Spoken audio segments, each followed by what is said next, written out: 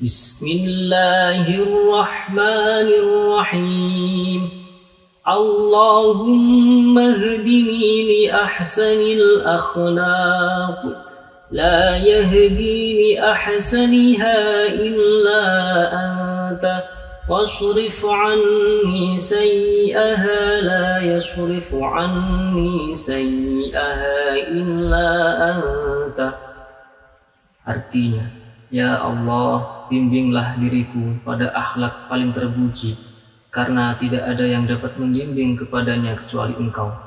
Palingkanlah aku dari akhlak yang buruk, karena sungguh tidak ada yang dapat memalingkannya dariku kecuali Engkau.